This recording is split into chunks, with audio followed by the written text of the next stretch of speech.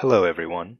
The PRU ICSS, or Programmable Real-Time Unit Industrial Communications Subsystem, EtherCAT package is designed for the Sitara processor family to enable customers to add EtherCAT slave protocol support to their system. This video will demonstrate how to test the reference design for DDR-less EtherCAT slave on the AMIC 110 development platform. EtherCAT, or Ethernet for Control Automation technology, continuously grows to establish itself as a dominant industrial Ethernet network. The DDR-less EtherCAT reference design serves as a reference for a completely new and low-cost DDR-less EtherCAT slave implementation on the AMIC 110, a multi-protocol industrial communication system on a chip. This reference design showcases the ability to run a full EtherCAT slave stack entirely on the internal memory of the SoC. Significant system bill of materials and board savings are achieved with this reference design by eliminating an external ASIC and DDR. Additionally, applications such as connected industrial drives and communications modules can significantly benefit from the faster speeds that are achieved by eliminating external memory transfers for EtherCAT. Three major software components, the physical layer, data link layer, and application layer, comprise the EtherCAT slave implementation on the AMIC 110 device, similar to other Sitara processors from TI. The first component is the physical layer, or PHY, which provides all physical layer functions needed to transmit and receive data over standard twisted pair cables. In EtherCAT Layer 2, the data link, the PRU real-time cores execute the tasks of datagram processing, distributed clocking, address mapping, error detection and handling, and host interface. PRUs also emulate the EtherCAT register space in the internal shared memory. With their deterministic real-time processing capability, the PRUs handle EtherCAT datagrams with consistent and predictable processing latency. The third component is the EtherCAT slave stack, which runs on the ARM processor and an industrial application that is dependent on the end equipment in which this solution is used. For the application layer connection, Different process data interfaces, or PDIs, are available. Typical interface options vary from 32-bit to 18 or 16-bit parallel I.O. interfaces or serial interfaces such as SPI. Now, let's proceed to the demonstration. First, we will set up the AMIC 110 ICE development platform. Next, we will install the required software and tools. Then we will generate EtherCAT project files and build the full-feature EtherCAT slave application. After the application is successfully built, we will flash the binaries to the AMIC 110 ICE board and run the EtherCAT slave application. Finally, we will verify the application functionality with the TwinCAT3 EtherCAT master. Let's begin with the hardware setup. To set up the hardware, first connect an Ethernet cable from the J6 port on the AMIC 110 ICE board to an Ethernet port on the host PC. Next, attach the XDS200 debug probe to the JTAG connection on the board and connect the other end to the host PC via USB. Finally, connect a 5V power supply to the board. Next, let's take a look at the software required to run the demonstration.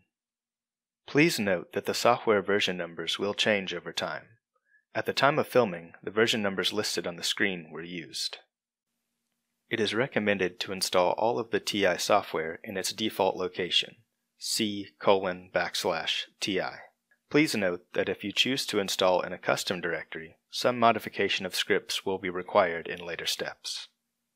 If you have not already done so, please first install Code Composer Studio. Make sure that Sitara AMX processors and TI XDS debug probe support boxes are checked during the installation. Next, install Processor SDK RTOS for AM335X in the same directory as CCS. Please make sure to use version 5.0 or later of the Processor SDK. Previous SDK versions require a patch to the SBL. More information can be found in the PRU ICSS EtherCAT User's Guide. The final piece of TI software is the PRU ICSS EtherCAT Slave software package. Install it in the same directory as CCS. After the TI software is installed, you will need to install version 5.12 of the EtherCAT slave stack code. Please note that the slave stack code is required in order to build the full feature application. If you do not have access to the slave stack code at this time, you will still be able to use the demo application. Next, you need to install the TwinCat 3 software. Please make sure to select the complete installation. Finally, you will need to install the Windows Patch utility and a text file format converter in order to apply patches needed in later steps. Next, we will walk through the necessary steps to generate and build the EtherCAT slave application. To build the full-feature EtherCAT slave application, we must first generate patched versions of the EtherCAT source files for Sitara processors. These files can be generated via two different methods. Method 1, generating EtherCAT sources using a patch file, and Method 2, generating EtherCAT sources using the Beckhoff SSC tool. Please note that you should use only one of these methods, i.e., do not generate the sources using the SSC tool and then apply the patch on top of those files. Option 1. Generating EtherCAT sources using a patch file. Launch the command prompt and change directories to the directory shown on the screen. This directory should contain a patch file named ti underscore ecat.patch. Convert the patch file to DOS format by using the command shown on the screen. Next, cd to where you installed the Windows Patch utility.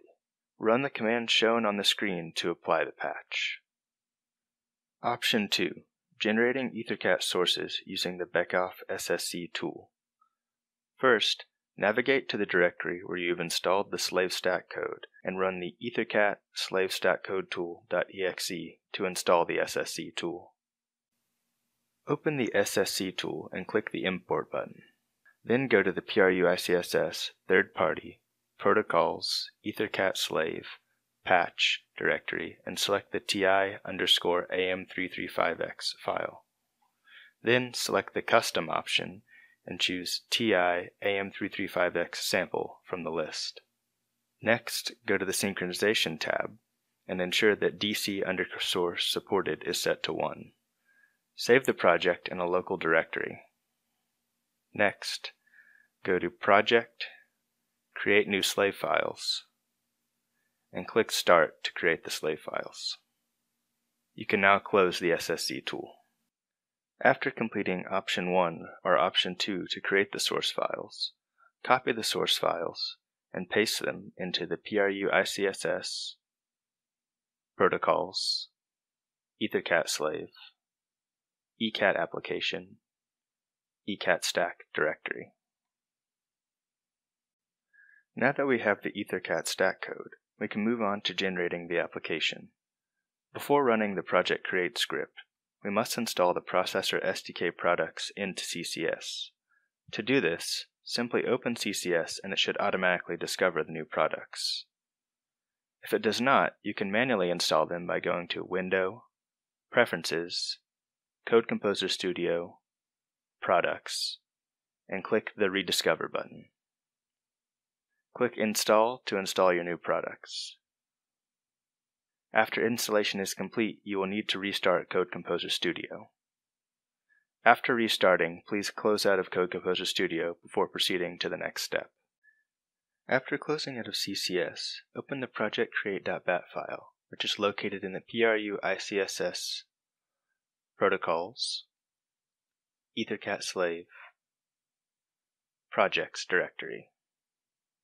After opening the file, Edit the CCS install directory to point to your CCS installation, and edit the AM335X PDK install path to point to where you installed the processor SDK. If you chose to install products outside of the default C/TI location, you may need to modify other variables in this script. After modifying the script, cd to the PRU ICSS protocols EtherCAT slave, projects directory, and then run the project create.bat AMIC 11x arm ethercat slave full command. This script will now create the EtherCAT slave full project, which can then be imported into Code Composer Studio. The project is created in the same directory as the project create.bat script. Now that the project has been created, we need to import and build in CCS. Before building, we must first patch the processor SDK for thumb mode binaries. Follow the same procedure as before by using the Unix to DOS command to convert the file format and using the Windows patch utility to apply the patch to the file. After the PDK patch is applied, the PDK needs to be cleaned and rebuilt to generate the thumb mode LLD libraries. To do this, navigate to the PDK packages directory and run gmake clean. After cleaning is complete, run gmake all to rebuild the PDK. For more information, refer to the link shown on the screen. After applying the thumb mode patch and rebuilding the PDK, launch CCS and import the project from the Project Import CCS Projects menu. Click Browse, and then search for the project in the PRU-ICSS Protocols ethercat slave, projects, ethercat slave full directory. Click Finish to import the project. After importing the project, right-click on it and go to Build Configurations, Set Active, AMIC 11x Release. Then click the hammer to build the project. Now that we have built our application, it's time to flash it to the board and run. During normal operation, users are required to flash SBL to location 0 and app location 20,000.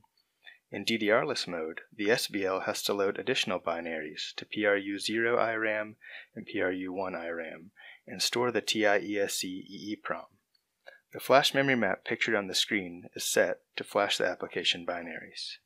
The load location for binaries loaded by the bootloader is configured by providing the location in the TI image header appended to these binaries. The pre-built TI image binaries for EtherCAT frame handler and EtherCAT host interface can be found at PRU ICSS protocols EtherCAT slave firmware version 1.0. Binaries with and without the TI image header are provided. Binaries that contain the TI image header have an underscore TI suffix. An example pair is ethercatframehandler.bin and ethercatframehandler underscore ti.bin. Be sure to use the underscore ti versions of these binaries going forward.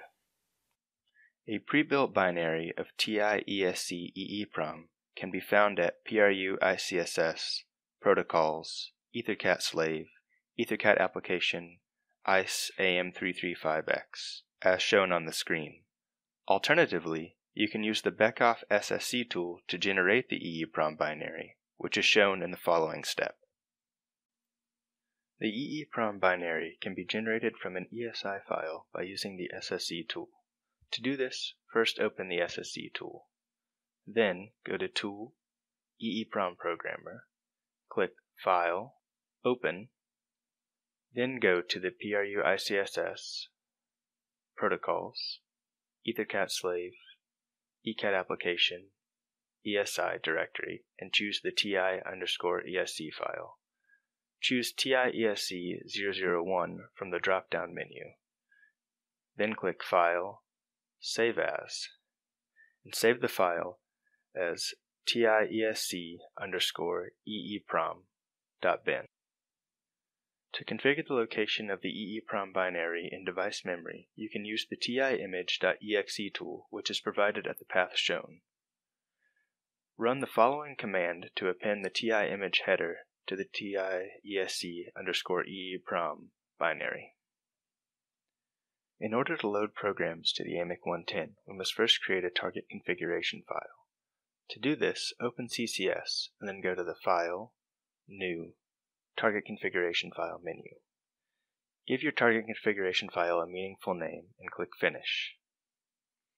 After creating the target configuration file, select TI XDS200 debug probes for the connection and ICE underscore AMIC 110 for the board or device. Then save your configuration. Once it is saved, click Test Connection. A test will run and you should get a passing message at the end. After receiving this message, right-click on your target configuration file and choose Launch Selected Configuration. This will switch to the CCS debug perspective. In the debug perspective, right-click on the A8 core and choose Connect Target. Once the target is connected, you can go to the Run, Load menu, and load the program. Click Browse and go to the PDK, Packages, TI, StarterWare, Tools, FlashWriter directory, and choose the SPI FlashWriter. Click OK. Now that the program is loaded, you can click the Play button to run it. The FlashWriter program will print options to the CCS console window. Choose option 1 to flash an image to the board. You will be prompted to enter the full path to the image and provide a memory offset. The first image is the bootloader, which can be found at the directory shown on the screen. Next, enter 0 for the offset to start loading the image. After receiving a Verify Success message from the FlashWriter program, click the Restart button in CCS to go on to loading the next binary. Then click the Play button to reload the FlashWriter program. The next image to flash is the tiesc underscore eeprom underscore ti.bin file. It has an offset of 10,000. The next binary to flash is ecat host interface ti.bin. Follow the same steps as before by restarting the program and hitting the play button. Then load from the directory shown and choose an offset of 14,000. Restart the program again and hit the play button. This time we'll be loading the ecat frame handler ti.bin file. You can find this file at the directory shown. Choose an offset of 19,000 and load the file. Finally, we will flash the application file. Click the Restart button again and then click the Play button. Load the application file from the directory shown and choose an offset of 20,000. Please note that this file may take a couple minutes to finish loading. After you've finished flashing all of the binaries, click the Terminate button to disconnect from the AMIC 110. Now that the program is loaded, press the Reset button on the AMIC 110. You should see the pictured LEDs turn on. Now that the application is running, we can verify its functionality using the TwinCat 3 program. Before opening TwinCat, we need to copy over the ESI file for our application. The ESI file for the EtherCAT slave full application can be found in the PRU ICSS, Protocols, EtherCAT slave, ECAT application, ESI folder. Copy the ti underscore esc.xml file. Next, navigate to your TwinCat installation and go to the 3.1 config IO EtherCAT folder. Paste the file here. After copying over the ESI file, open the TwinCat XAE application and create a new TwinCat XAE project via the File, New, Project menu. Next, click on TwinCat Show Real-Time Ethernet Compatible Devices. Click on your Ethernet adapter and ensure that it is installed. Next, go to the I.O. tab, right-click on Devices, and click Scan. Check the box next to the EtherCAT device and click OK. Click Yes to scan for boxes, and Yes to activate free run. Next, double-click on the TI box. Go to the Online tab and check to make sure that the device is in the OP state. Next, go to the DO outputs, LED, and choose one of the LEDs. Switch to the Online tab. Here you can click the right button to change the state of the LED. We will change it from 0 to 1 you should see the corresponding LED on the AMIC 110 board change. This concludes the demonstration for DDR-less EtherCAT slave on AMIC 110. For more information, refer to the link shown on the screen. Thank you for taking the time to watch this demonstration. If you have any questions, please post them on the Texas Instruments E2E forum at e2e.ti.com.